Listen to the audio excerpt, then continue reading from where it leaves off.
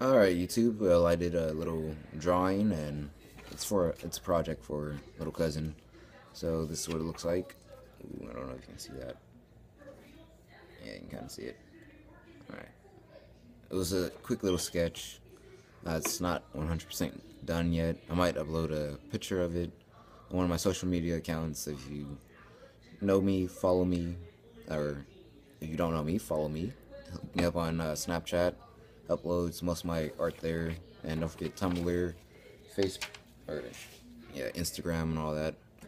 Um, well, yeah, I'm gonna add the time lapse video up to the side and catch you guys later.